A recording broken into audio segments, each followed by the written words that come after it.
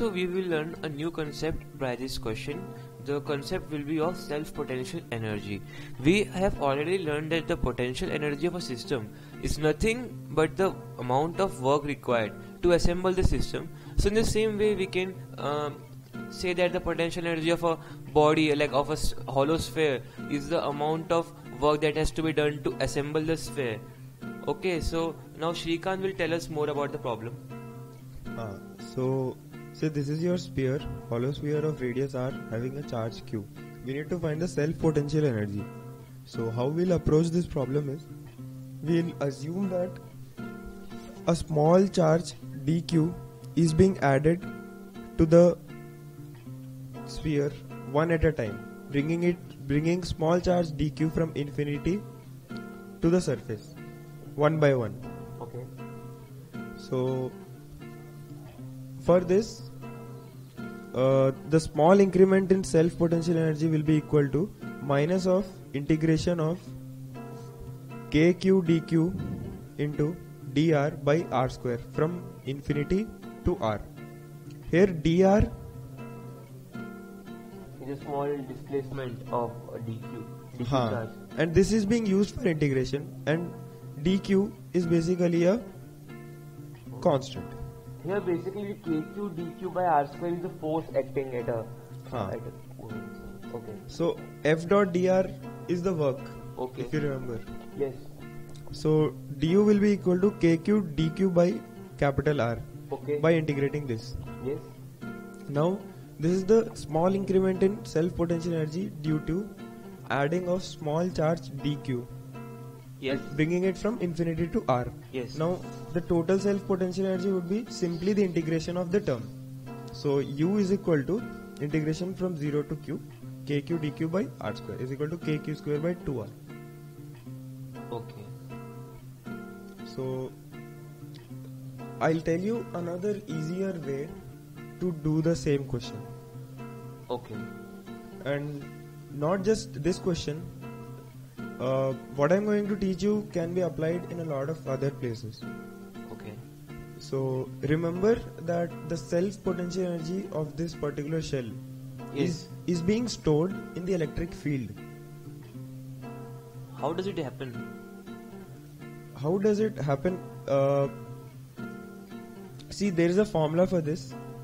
Small u, that is potential energy density, Okay. is equal to half epsilon naught e square. Yes. So, when there is an electric field in a space, E, Okay. naturally, a small u, uh, u density of So there is an energy associated energy, with huh, associated associated with this space, and the energy density is given by this given this formula. exactly. Okay. So, if you analyze our sphere, inside there was no Electric field. electric field, so Yes. there won't be any ener- energy associated with that space. yes. Since there is electric field outside, there will be energy associated with electric field Yes. and hence this space. So we'll simply add up all small u's. So capital U is equal to integration of small u dv, where dv is the volume, small volume element. So by this we can say that uh, even for any body, uh, if it is creating some electric field, so uh, in in the region it is storing some energy by the electric field. Exactly. Okay, so we will sum up the uh, energy from all electric field from all the space, and then find the uh, potential energy of the body. Exactly. Okay. So we are going to integrate u dv, yes. which will be equal to integration of half epsilon naught and e square. E square term will be k square q square by r power 4 Yes. into dv. Okay. dv is 4 pi r square dr. yes. Uh, dv can be obtained by reducing volume of a sphere of radius r from volume of a sphere of radius r plus dr. Yes. So, if we integrate this formula, we'll again get Value of u. k, kq square by 2r, which is exactly the same what we got by bringing small small elements at a time. Okay. So another application of this concept is imagine uh, there are two types of the same same shells. Okay. There's R Q, shell of R, charge Q, Okay. and there is a distance say R between them. Okay. So there'll be three different energies associated with the system. Three different energies. Exactly. Can you point them out? One will be the energy between the interaction uh, b- between the energy of, of the interaction between the two spheres Correct. and uh, yes the rest two energy are the individual self potential energies Exactly. So, self potential energy of the sphere, uh, we shall we derived it to be kq square by 2r. So, adding Okay. 2, we will get kq square by r. And interactive uh, potential energy is equal to kq square by 3r. okay because Since we can treat these shells to be point charges placed at the center. yes for the calculation of potential energy Exactly. okay So adding both, we can get the answer. okay so this is very important concept the concept of self potential energy which can be used to calculate the total energy of system when the even the particles in the system are rigid bodies like some sphere or some charge distributions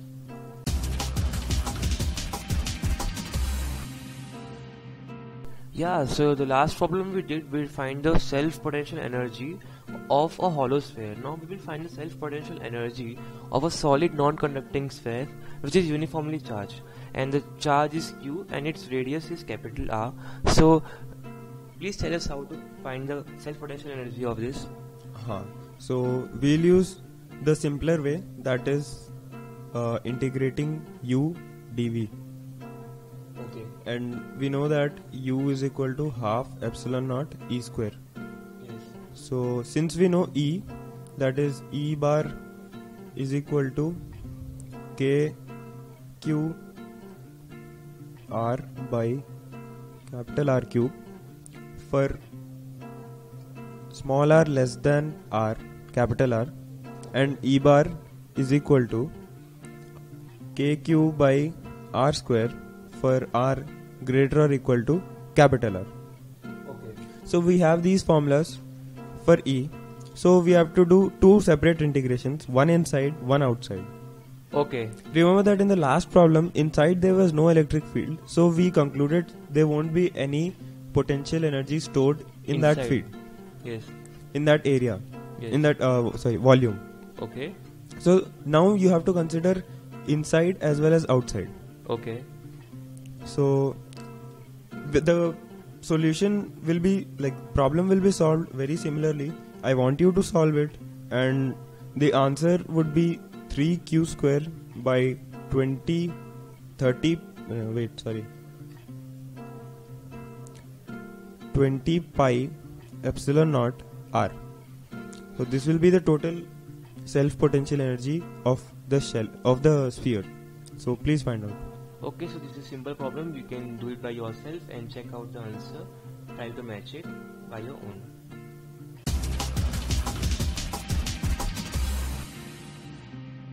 Okay, so let's deal with some problems related to like, some tricky problems. Okay, so the first problem is uniformly charged hemispherical shell is given and field at point A is E, so we have to find the field at point B. Okay, we are given a hemispherical charge, uniformly charged hemispherical shell. Okay, so and we have to find the magnitude of electric field at point B.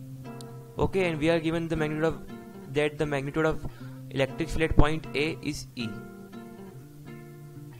So, how to approach this problem? Uh, you can uh, you can uh, solve this problem very easily by simply using the superposition of superposition principle and additivity of charges. Uh, assume that there is a shell made of two parts. This is the part which is originally there and this is the part which is made up of uh, two charges, two shells, in fact, as in one shell uh, positively charged and another shell negatively charged, overlapping each other. So that would make it overall zero charge. Uh, are you getting it? Yeah, so like we are creating, we are just assuming that uh, there is nothing right there. So we can also assume that there is positive charge shell, negative charge shell there. Huh. So Both of them coexist. because still the overall charge will be zero. Exactly. So now if we consider the entire positively charged shell, Okay. so because of that, field electric field at any point is equal to inside the shell is equal to Zero. zero. Okay. So now the electric field will only be due to the negative charge. Okay. So it is this. So using comparing this with the given statement, because of this shell, Okay. field at point A Yes. is E in this direction. Okay. So now we are given with a similar situation where the shell, though it is negatively charged, but distance from the center is again r by 2. Okay. We are. So can you look at it as a mirror image? yes. Yes. Yes.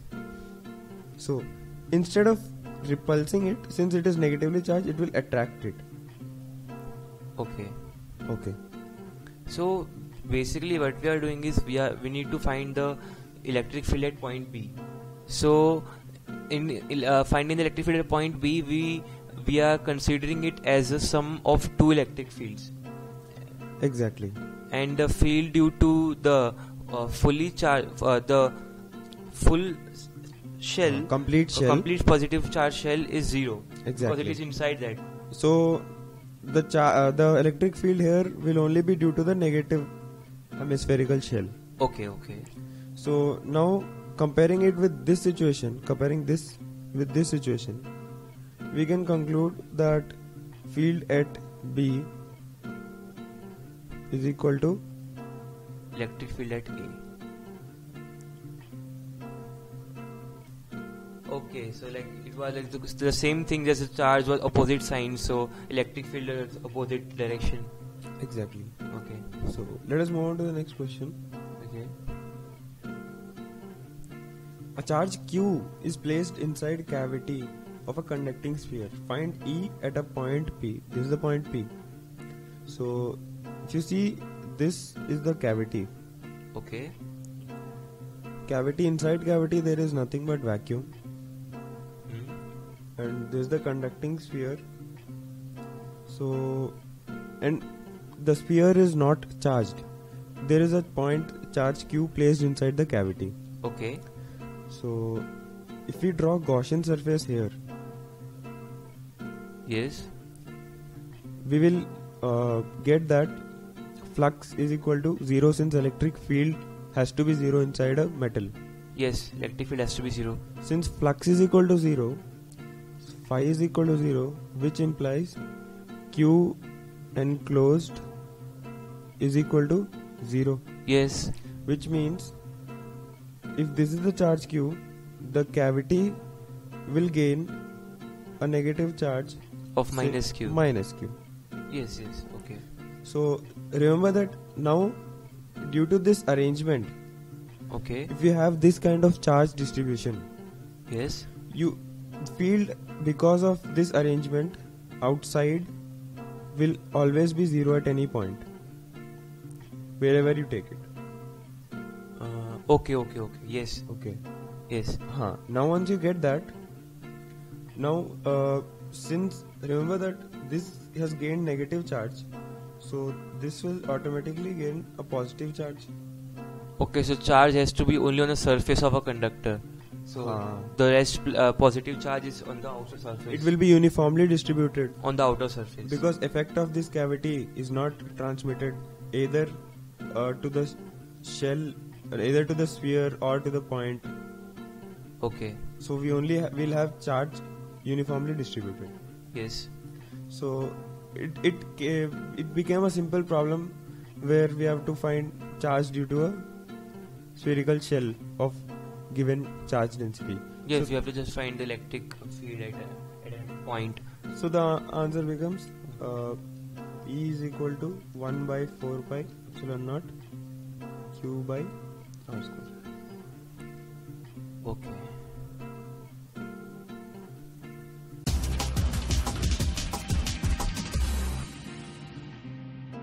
Okay, so let us solve a problem regarding flux calculation. So the question is electric field in the region is electric field is equal to I cap. So for the first part is find the flux through the surface of area A placed at an angle theta. Okay, so How to approach this? Very simple. Flux uh, is given by phi is equal to E bar dot A bar. yes, So here we have a challenge. See, this is our surface. yes, So where do you direct your A bar? It can either be this way okay, or it can either be this way. yes, So the magnitude of- both of them, say if we take it this way or this way, flux magnitude will come out to be the same, okay. It can be positive or negative. but it will differ either it will be positive or negative. okay, So under such conditions, we consider it such that it is closest to the E bar vector.